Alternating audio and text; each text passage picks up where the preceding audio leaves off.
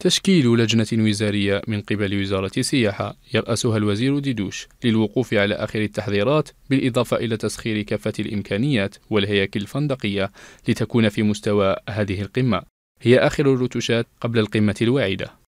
وللتذكير فقد خصصت اللجنة الفرعية للمنشآت ما مجموعه 23 منشأة جاهزة لإقامة الوفود المشاركة ولاحتضان أشغال اجتماع رؤساء دول وحكومات من الدول المصدرة للغاز. من بينها 18 مؤسسة فندقية 10 مؤسسات فندقية عمومية و8 مؤسسات فندقية خاصة. ترتيبات تأمين المواقع مع التركيز على استخدام أحدث التقنيات لضمان راحة وسلامة الوفود المشاركة. هي أبرز ما يتم التركيز عليه في التحضير للقمة السابعة لرؤساء دول وحكومات منتدى البلدان المصدرة للغاز. عن الترتيبات التي خصتها الدولة الجزائرية لمواقع الإيواء واستخدام أحدث التقنيات لتأمينها ولضمان راحة وسلامة الوفود المشاركة في القمة.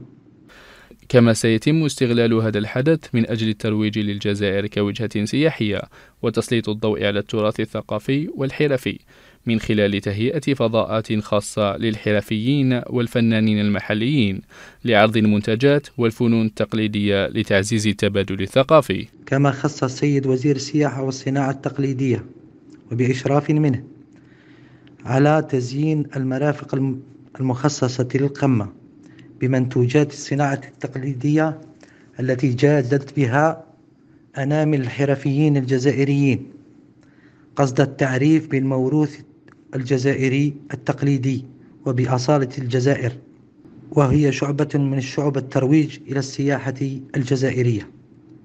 أيام قليلة تفصلنا عن قمة الجزائر للغاز. الحكومة على قدم وساق للوقوف على جاهزية المرافق والمؤسسات الفندقية لإنجاح هذا الموعد الهام وإعطاء أحسن صورة عن الجزائر والترويج لمؤهلاتها السياحية.